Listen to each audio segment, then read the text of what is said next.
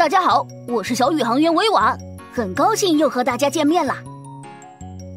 在前面的课程中，维瓦带小朋友们去领略了我们整个太阳系，包括太阳、八大行星及其卫星，还有各种小行星、彗星等天体。哇哦！不知不觉，我们的宇宙课已经进入尾声了。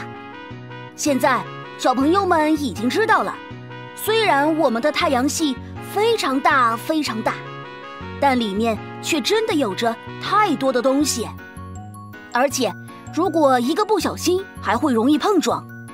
例如，一九九四年，苏梅克列为九号彗星，经过木星的时候，被木星强大的引力捕获，并被撕碎变成二十一块小碎片。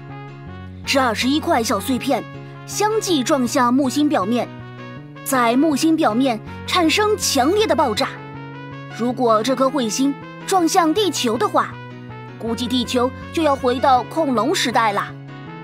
当然，虽然木星受到了彗星的撞击，但由于其巨大的个头和气体的表面，对木星来说其实并没有受到什么伤害。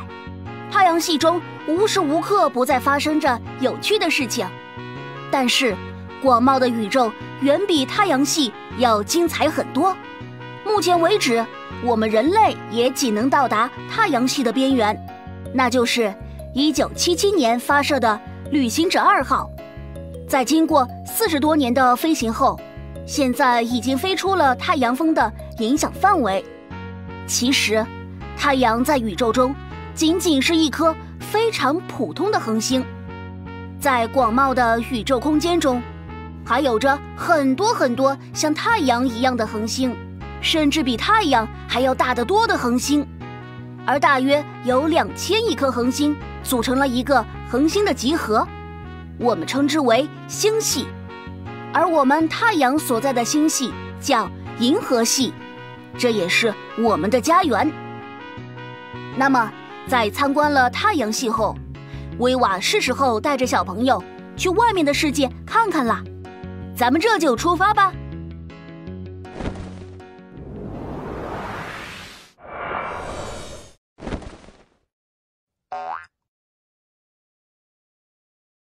威哇威哇，Rock you！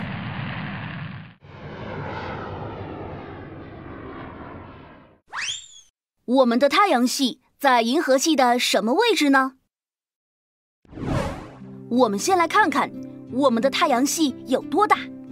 地球到太阳的距离大约是一点五亿公里，而太阳系小天体的边缘到太阳的距离是地球到太阳距离的五十倍，也就是七十五亿公里。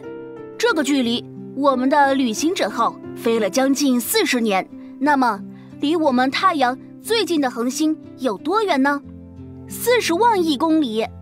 连宇宙中最快的光都要走四点二年，小朋友们注意了，光年可不是时间单位，它是指光走一年的距离。如此看起来，我们的太阳系真是小的可怜。那银河系有多大呢？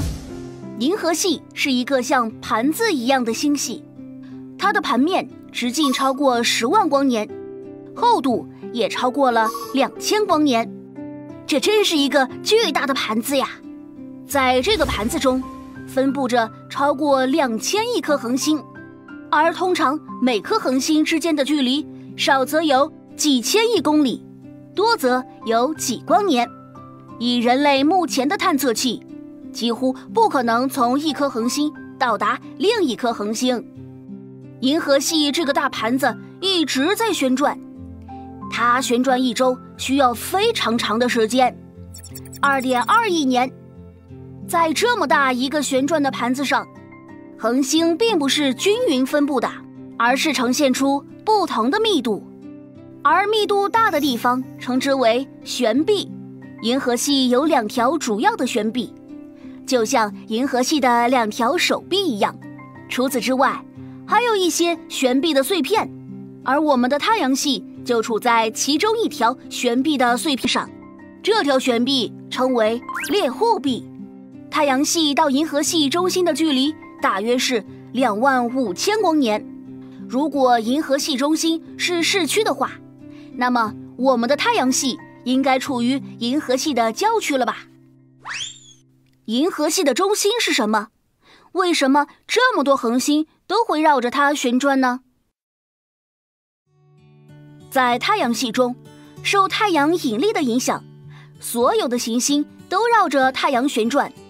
那么，旋转的银河系是不是也是一样呢？那当然是肯定的。虽然银河系非常大，但是在银河系的中心存在着一个质量超大的天体，那就是黑洞。黑洞是这个宇宙中引力最强大的天体了。在它的中心有一个起点，任何掉入黑洞的物体都会被黑洞吸引着掉入这个起点，而永远不可能逃离出去。不仅如此，黑洞的引力是如此的强，以至于光都无法逃离它的引力影响。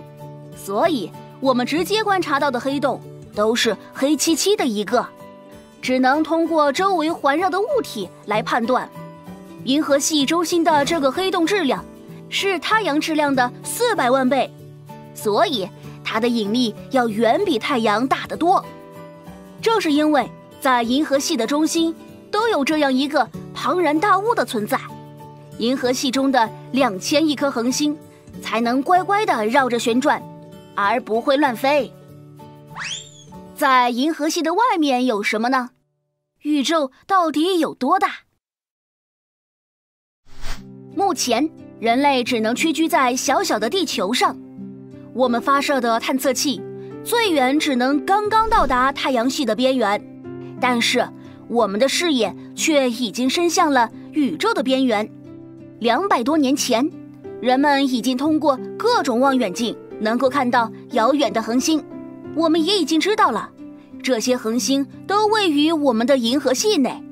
但是，随着观测的进一步深入，人们慢慢的发现，一些恒星和星云的距离似乎比我们认为的要远得多。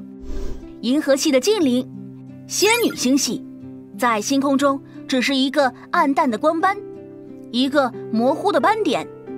起初，人们认为它只是银河系中的一个星云，但是后来发现，这个星云却是由许许多多的恒星构成的。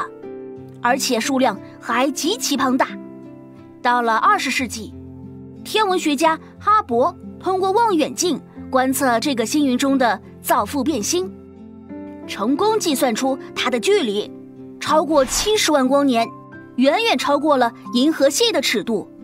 至此，人们才知道，这根本不是什么星云，而是位于银河系外的另外一个星系。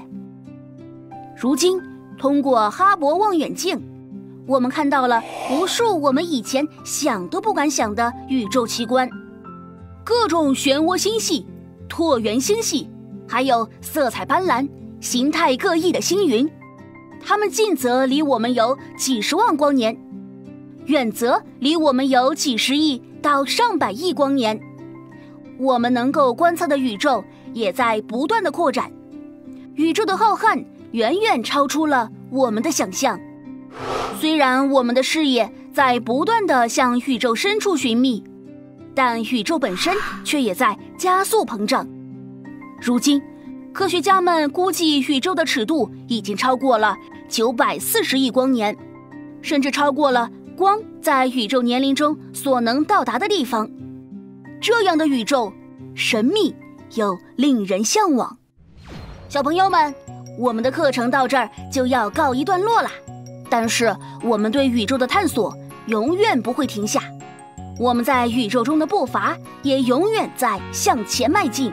时间飞逝，威瓦也不得不跟小朋友们说再见了。在威瓦离开的时间里，小朋友们也要努力学习，了解更多的知识，去探索未知的宇宙哦。再见啦